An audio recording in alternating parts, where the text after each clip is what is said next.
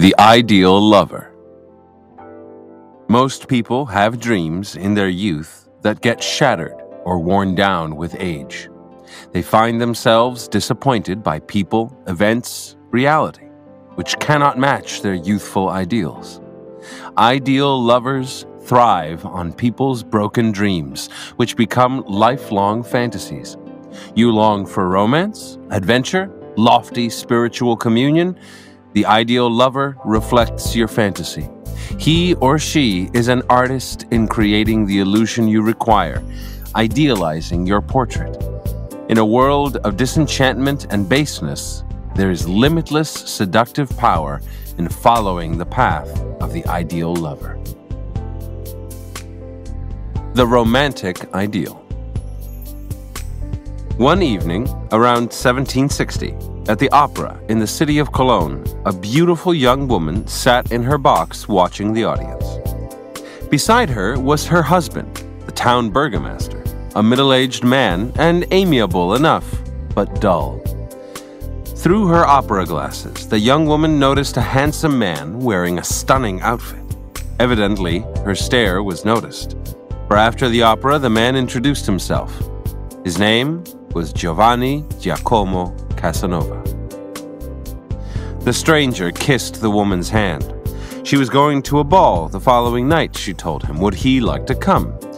If I might dare to hope, madame, he replied, that you will dance only with me. The next night, after the ball, the woman could think only of Casanova. He had seemed to anticipate her thoughts, had been so pleasant and yet so bold. A few days later, he dined at her house, and after her husband had retired for the evening, she showed him around. In her boudoir, she pointed out a wing of the house, a chapel, just outside her window. Sure enough, as if he had read her mind, Casanova came to the chapel the next day to attend Mass. And seeing her at the theater that evening, he mentioned to her that he had noticed a door there that must lead to her bedroom. She laughed and pretended to be surprised. In the most innocent of tones, he said that he would find a way to hide in the chapel the next day. And almost without thinking, she whispered she would visit him there after everyone had gone to bed. So Casanova hid in the chapel's tiny confessional, waiting all day and evening. There were rats, and he had nothing to lie upon. Yet when the burgomaster's wife finally came late at night he didn't complain, but quietly followed her to her room.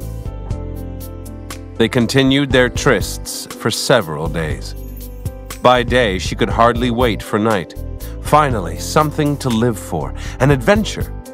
She left him food, books, and candles to ease his long and tedious stays in the chapel. It seemed wrong to use a place of worship for such a purpose, but that only made the affair more exciting. A few days later, however, she had to take a journey with her husband.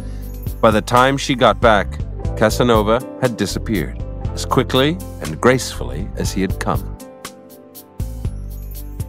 Some years later, in London, a young woman named Miss Pauline noticed an ad in a local newspaper. A gentleman was looking for a lady lodger to rent a part of his house. Miss Pauline came from Portugal and was of the nobility she had eloped to London with a lover, but he had been forced to return home, and she had had to stay on alone for some while before she could join him. Now she was lonely and had little money and was depressed by her squalid circumstances. After all, she had been raised as a lady. She answered the ad. The gentleman turned out to be Casanova. And what a gentleman he was! The room he offered was nice, and the rent was low. He asked only for occasional companionship. Miss Pauline moved in. They played chess, went riding, discussed literature. He was so well bred, polite, and generous. A serious and high minded girl, she came to depend on their friendship. Here was a man she could talk to for hours. Then, one day, Casanova seemed changed, upset, excited he confessed that he was in love with her. She was going back to Portugal soon to rejoin her lover, and this was not what she wanted to hear. She told him he should go riding to calm down. Later that evening, she received news he had fallen from his horse. Feeling responsible for his accident, she rushed to him, found him in bed, and fell into his arms, unable to control herself. The two became lovers that night and remained so for the rest of Miss Pauline's stay in London. Yet, when it came time for her to leave for Portugal, he did not try to stop her. Instead, he comforted her, reasoning that each of them had offered the other the perfect temporary antidote to their loneliness, and that they would be friends for life. Some years later, in a small Spanish town, a young and beautiful girl named Ignacia was leaving church after confession. She was approached by Casanova. Walking her home, he explained that he had a passion for dancing the fandango and invited her to a ball the following evening. He was so different from anyone in the town, which bored her so. She desperately wanted to go. Her parents were against the arrangement, but she persuaded her mother to act as a chaperone. After an unforgettable evening of dancing, and he danced the fandango remarkably well for a foreigner, Casanova confessed that he was madly in love with her. She replied, very sadly though, that she already had a fiancé. Casanova didn't force the issue, but over the next few days he took Ignacia to more dances and to the bullfights. On one of these occasions, he introduced her to a friend of his, a duchess, who flirted with him brazenly. Ignacia was terribly jealous. By now, she was desperately in love with Casanova, but her sense of duty and religion forbade such thoughts. Finally, after days of torment, Ignacia sought out Casanova and took his hand. My confessor tried to make me promise to never be alone with you again, she said and as I couldn't, he refused to give me absolution. It is the first time in my life such a thing has happened to me. I have to put myself in God's hands. I have made up my mind, so long as you are here, to do all you wish. When, to my sorrow, you leave Spain, I shall find another confessor. My fancy for you is, after all, only a passing madness. Casanova was perhaps the most successful seducer in history. Few women could resist him. His method was simple. On meeting a woman, he would study her, go along with her moods, find out what was missing in her life, and provide it. He made himself the ideal lover. The bored burgomaster's wife needed adventure and romance. She wanted someone who would sacrifice time and comfort to have her. For Miss Pauline, what was missing was friendship, lofty ideals, serious conversation. She wanted a man of breeding and generosity who would treat her like a lady. For Ignacia, what was missing was suffering and torment. Her life was too easy. To feel truly alive and to have something real to confess, she needed to sin. In each case, Casanova adapted himself to the woman's ideals, brought her fantasy to life. Once she had fallen under his spell, a little ruse or calculation would seal the romance. A day among rats, a contrived fall from a horse, an encounter with another woman to make Ignacia jealous. The ideal lover is rare in the modern world, for the role takes effort. You will have to focus intensely on the other person, fathom what she is missing, what he is disappointed by. People will often reveal this in subtle ways, through gesture, tone of voice, a look in the eye. By seeming to be what they lack, you will fit their ideal. To create this effect requires patience and attention to detail. Most people are so wrapped up in their own desires, so impatient, they are incapable of the ideal lover role. Let that be a source of infinite opportunity. Be an oasis in the desert of the self absorbed. Few can resist the temptation of following a person who seems so attuned to their desires, to bringing to life their fantasies. And as with Casanova, your reputation as one who gives such pleasure will precede you and make your seductions that much easier. A quote from Casanova The cultivation of the pleasures of the senses was ever my principal aim in life. Knowing that I was personally calculated to please the fair sex, I always strove to make myself agreeable to it. The Beauty Ideal In 1730, when Jeanne Poisson was a mere nine years old, a fortune teller predicted that one day she would be the mistress of Louis XV.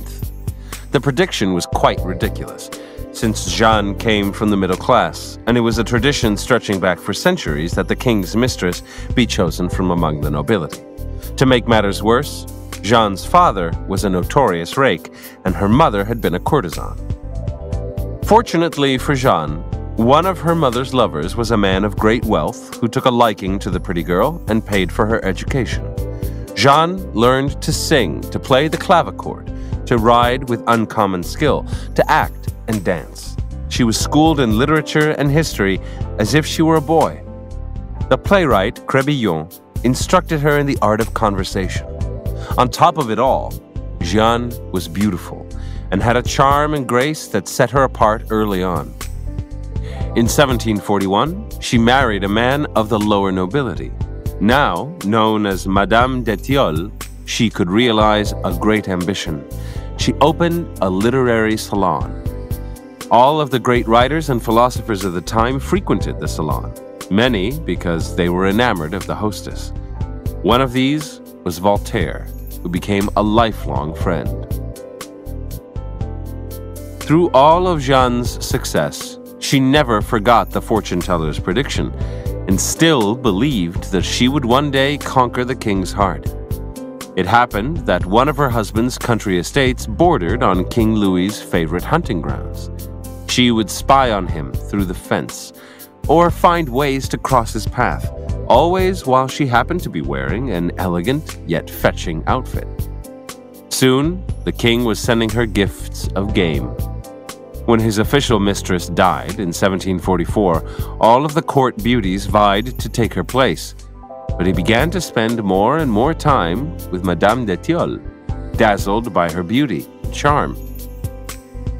To the astonishment of the court, that same year he made this middle class woman his official mistress, ennobling her with the title of the Marquise de Pompadour. The king's need for novelty was notorious. A mistress would beguile him with her looks, but he would soon grow bored with her and find someone else. After the shock of his choice of Jeanne Poisson wore off, the courtiers reassured themselves that it could not last, that he had only chosen her for the novelty of having a middle class mistress. Little did they know that Jeanne's first seduction of the king was not the last seduction she had in mind. As time went by, the king found himself visiting his mistress more and more often. As he ascended the hidden stair that led from his quarters to hers in the Palace of Versailles, anticipation of the delights that awaited him at the top would begin to turn in his head. First, the room was always warm and was filled with delightful scents. Then there were the visual delights. Madame de Pompadour always wore a different costume, each one elegant and surprising in its own way. She loved beautiful objects, fine porcelain, Chinese fans, golden flower pots, and every time he visited, there would be something new and enchanting to see. Her manner was always light-hearted. She was never defensive or resentful. Everything for pleasure. Then there was her conversation. He had never been really able to talk with a woman before, or to laugh, but the Marquise could discourse skillfully on any subject, and her voice was a pleasure to hear. And if the conversation waned, she would move to the piano, play a tune, and sing wonderfully.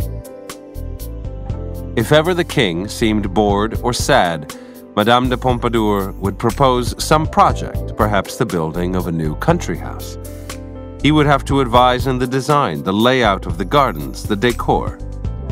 Back at Versailles, Madame de Pompadour put herself in charge of the palace amusements, building a private theater for weekly performances under her direction. Actors were chosen from among the courtiers, but the female lead was always played by Madame de Pompadour, who was one of the finest amateur actresses in France.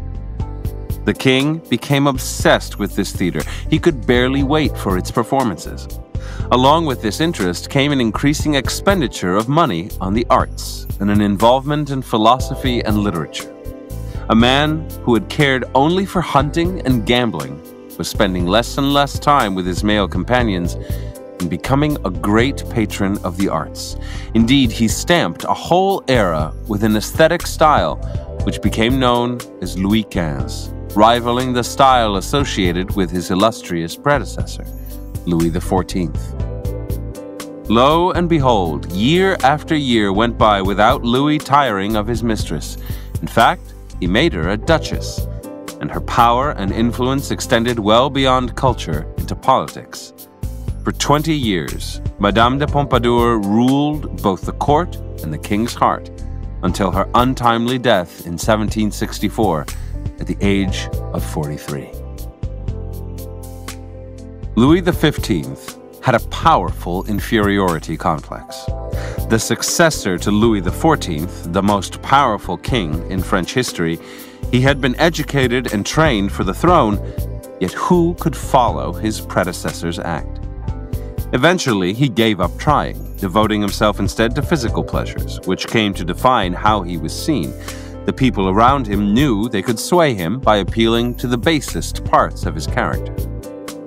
Madame de Pompadour, genius of seduction, understood that inside Louis XV was a great man yearning to come out, and that his obsession with pretty young women indicated a hunger for a more lasting kind of beauty. Her first step was to cure his incessant bouts of boredom. It is easy for kings to be bored. Everything they want is given to them, and they seldom learn to be satisfied with what they have. The Marquise de Pompadour dealt with this by bringing all sorts of fantasies to life and creating constant suspense. She had many skills and talents, and just as important, she deployed them so artfully that he never discovered their limits. Once she had accustomed him to more refined pleasures, she appealed to the crushed ideals within him. In the mirror she held up to him, he saw his aspiration to be great, a desire that in France inevitably included leadership and culture. His previous series of mistresses had tickled only his sensual desires. In Madame de Pompadour, he found a woman who made him feel greatness in himself. The other mistresses could easily be replaced, but he could never find another Madame de Pompadour. Most people believe themselves to be inwardly greater than they outwardly appear to the world. They are full of unrealized ideals.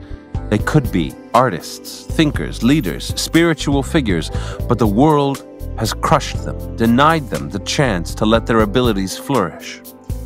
This is the key to their seduction and to keeping them seduced over time. The ideal lover knows how to conjure up this kind of magic. Appeal only to people's physical side, as many amateur seducers do, and they will resent you for playing upon their basest instincts. But appeal to their better selves, to a higher standard of beauty, and they will hardly notice that they have been seduced. Make them feel elevated lofty, spiritual, and your power over them will be limitless. A quotation from Friedrich Nietzsche Love brings to light a lover's noble and hidden qualities, his rare and exceptional traits. It is thus liable to be deceptive as to his normal character. Keys to the character. Each of us carries inside us an ideal, either of what we would like to become or of what we want another person to be for us. This ideal goes back to our earliest years, to what we once felt was missing in our lives, what others didn't give to us, what we couldn't give to ourselves. Maybe we were smothered in comfort and we long for danger and rebellion. If we want danger but it frightens us, perhaps we look for someone who seems at home with it, or perhaps our ideal is more elevated. We want to be more creative, nobler, and kinder than we ever managed to be. Our ideal is something we feel is missing inside us. Our ideal may be buried in disappointment, but it lurks underneath, waiting to be sparked. If another person seems to have that ideal quality or to have the ability to bring it out in us, we fall in love. That is the response to ideal lovers. Attuned to what is missing inside you, to the fantasy that will stir you, they reflect your ideal, and you do the rest, projecting onto them your deepest desires and yearnings. Casanova and Madame de Pompadour didn't merely seduce their targets into a sexual affair, they made them fall in love. The key to following the path of the ideal lover is the ability to observe. Ignore your target's words and conscious behavior. Focus on the tone of their voice, a blush here, a look there, those signs that betray what their words won't say. Often the ideal is expressed in contradiction. King Louis XV seemed to care only about chasing deer and young girls, but that in fact covered up his disappointment in himself. He yearned to have his nobler qualities flattered. Never has there been a better moment than now to play the ideal lover.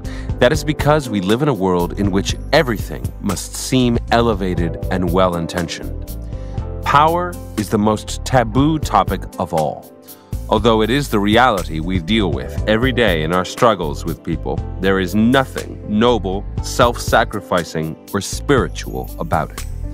Ideal lovers make you feel nobler, make the sensual and sexual seem spiritual and aesthetic.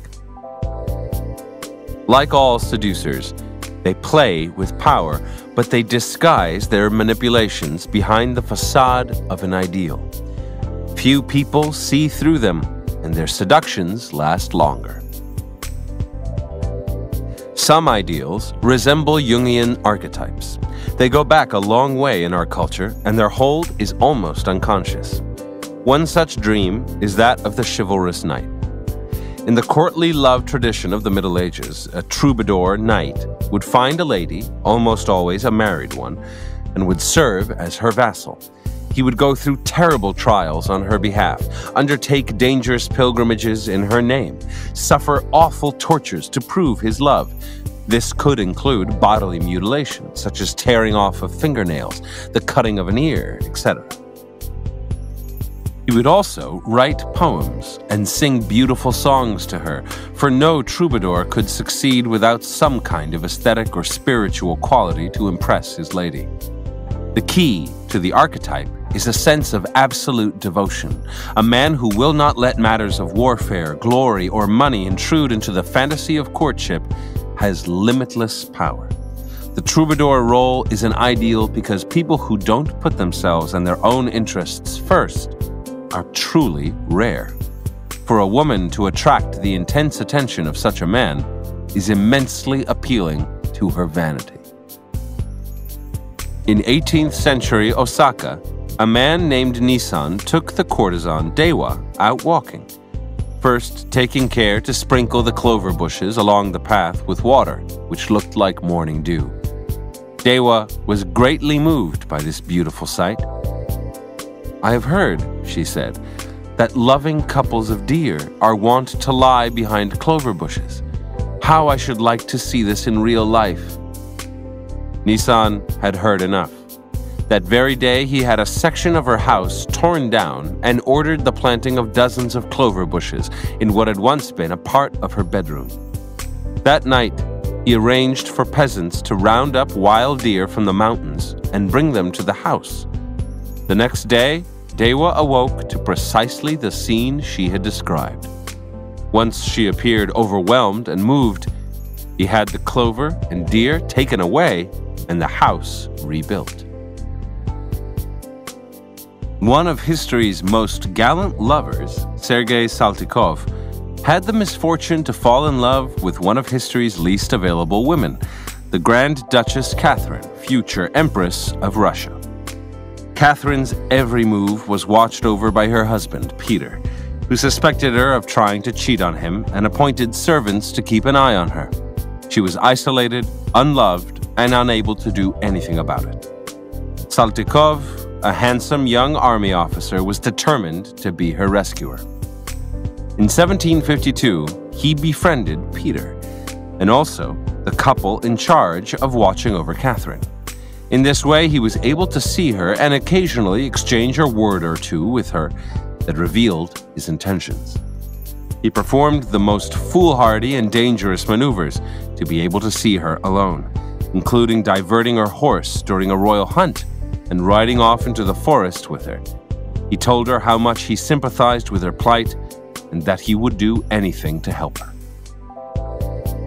To be caught courting Catherine would have meant death, and eventually Peter came to suspect that something was up between his wife and Saltykov, though he was never sure.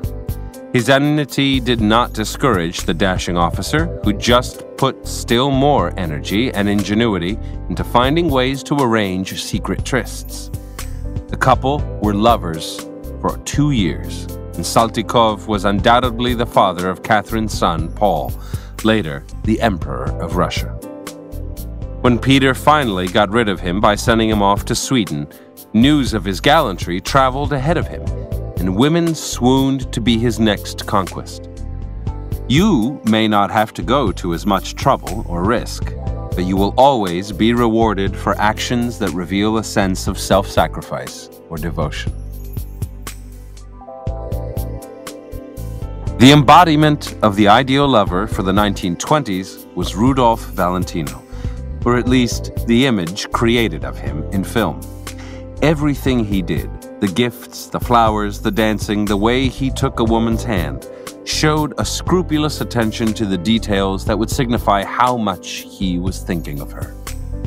The image was of a man who made courtship take time, transforming it into an aesthetic experience. Men hated Valentino because women now expected them to match the ideal of patience and attentiveness that he represented. Yet nothing is more seductive than patient attentiveness. It makes the affair seem lofty, aesthetic, not really about sex. The power of a Valentino, particularly nowadays, is that people like this are so rare. The art of playing to a woman's ideal has almost disappeared, which only makes it that much more alluring. If the chivalrous lover remains the ideal for women, Men often idealize the Madonna slash whore, a woman who combines sensuality with an air of spirituality or innocence. Think of the great courtesans of the Italian Renaissance, such as Tullia d'Aragona, essentially a prostitute, like all courtesans, but able to disguise her social role by establishing a reputation as a poet and philosopher. Tullia was what was then known as an honest courtesan. Honest courtesans would go to church, but they had an ulterior motive. For men, their presence at Mass was exciting. Their houses were pleasure palaces, but what made these homes so visually delightful was their artworks and shelves full of books, volumes of Petrarch and Dante. For the man, the thrill the fantasy was to sleep with a woman who was sexual, yet had all the ideal qualities of a mother and the spirit and intellect of an artist.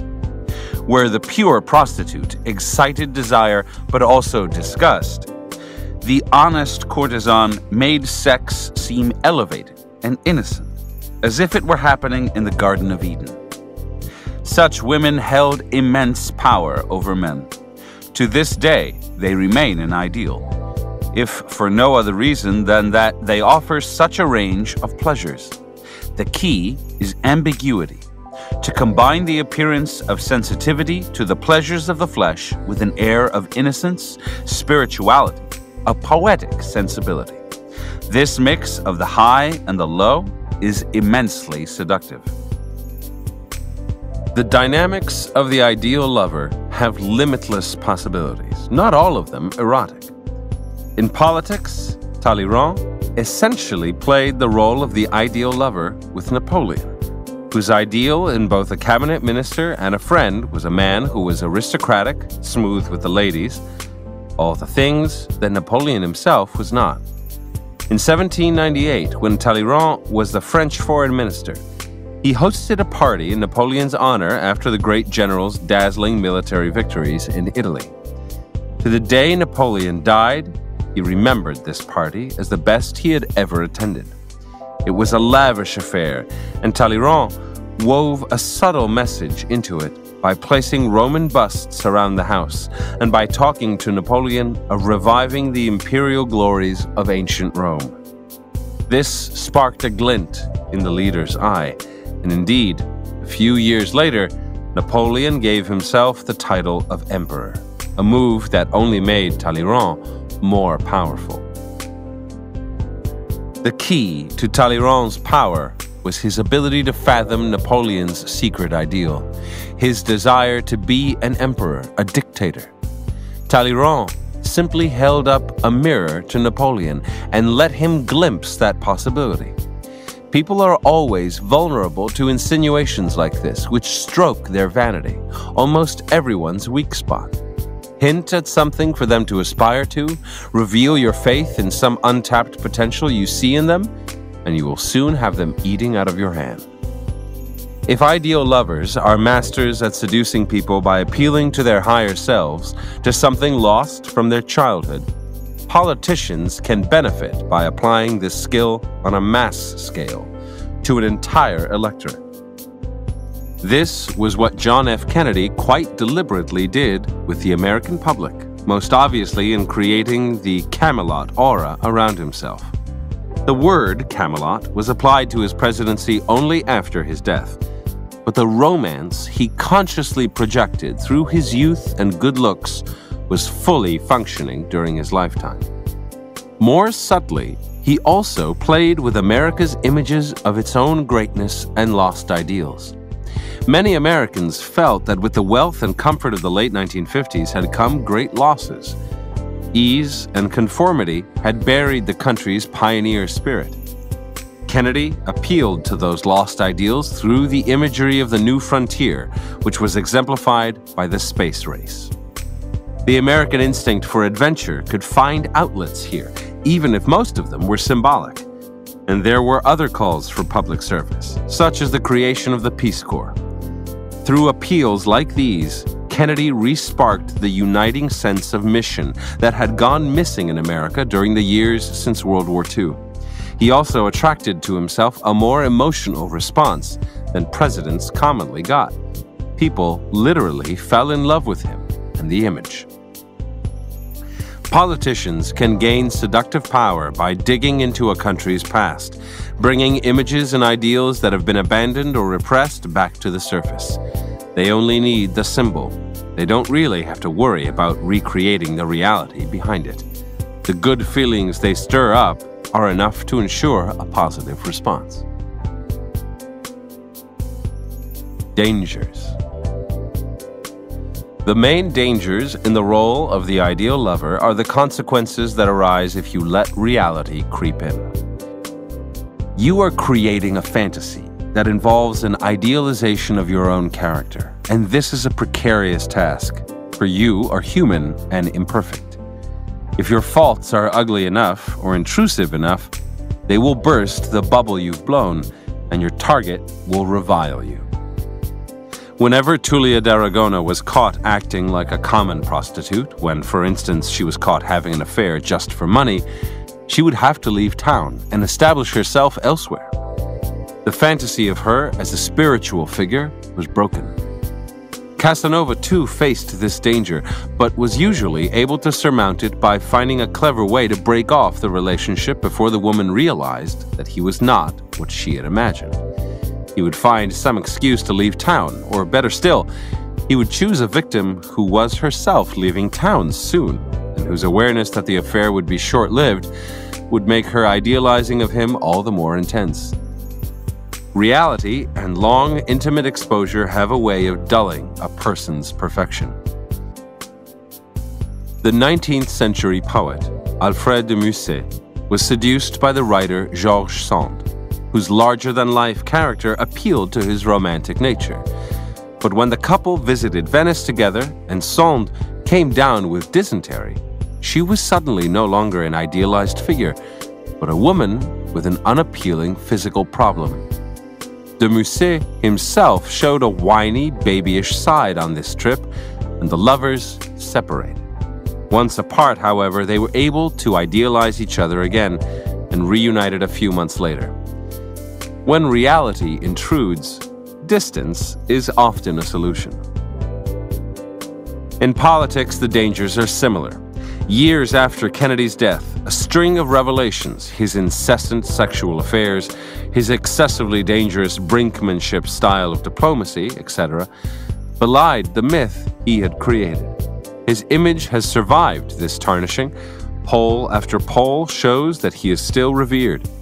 Kennedy is a special case, perhaps, in that his assassination made him a martyr, reinforcing the process of idealization that he had already set in motion. But he isn't the only example of an ideal lover whose attraction survives unpleasant revelations. These figures unleash such powerful fantasies, and there is such a hunger for the myths and ideals they have to sell that they are often quickly forgiven. Still, it is always wise to be prudent to keep people from glimpsing the less than ideal side of your character. In conclusion, here are some further reflections on the ideal lover. From Soren Kierkegaard's The Seducer's Diary. If, at first sight, a girl does not make such a deep impression on a person that she awakens the ideal, then ordinarily the actuality is not especially desirable. But if she does, then no matter how experienced a person is, he usually is rather overwhelmed. From The Pillow Book of Sei Shonagon, translated and edited by Ivan Morris. A good lover will behave as elegantly at dawn as at any other time. He drags himself out of bed with a look of dismay on his face. The lady urges him on. Come, my friend, it's getting light. You don't want anyone to find you here. He gives a deep sigh, as if to say that the night has not been nearly long enough and that it is agony to leave. Once up, he does not instantly pull on his trousers. Instead, he comes close to the lady and whispers whatever was left unsaid during the night. Even when he is dressed, he still lingers, vaguely pretending to be fastening his sash. Presently, he raises the lattice, and the two lovers stand together by the side door where he tells her how he dreads the coming day, which will keep them apart. Then he slips away. The lady watches him go, and this moment of parting will remain among her most charming memories. Indeed, one's attachment to a man depends largely on the elegance of his leave taking. When he jumps out of bed, scurries about the room, tightly fastens his trouser sash, rolls up the sleeves of his court cloak, overrobe, or hunting costume, stuffs his belongings into the breast of his robe, and then briskly secures the outer sash, one really begins to hate him. From Warhol by David Bourdon. During the early 1970s, against a turbulent political backdrop that included the fiasco of American involvement in the Vietnam War and the downfall of President Richard Nixon's presidency in the Watergate scandal, a me generation sprang to prominence. And Andy Warhol was there to hold up its mirror. Unlike the radicalized protesters of the 1960s who wanted to change all the ills of society, the self absorbed me people sought to improve their bodies and to get in touch with their own feelings. They cared passionately about their appearance, health, lifestyle, and bank accounts. Andy catered to their self centeredness and inflated pride by offering his services as a portraitist. By the end of the decade, he would be internationally recognized as one of the leading portraitists of his era. Warhol offered his clients an irresistible product a stylish and flattering portrait by a famous artist who was himself a certified celebrity. Conferring an alluring star presence upon even the most celebrated of faces, he transformed his subjects into glamorous apparitions, presenting their faces as he thought they wanted to be seen and remembered. By filtering his sitters' good features through his silkscreens and exaggerating their vivacity, he enabled them to gain entree to a more mythic and rarefied level of existence. The possession of great wealth and power might do for everyday life, but the commissioning of a portrait by Warhol was a sure indication that the sitter intended to secure a posthumous fame as well. Warhol's portraits were not so much realistic documents of contemporary faces as they were designer icons awaiting future devotions. From Virginia Woolf's A Room of One's Own. Women have served all these centuries as looking glasses, possessing the magic and delicious power of reflecting the figure of a man at twice its natural size.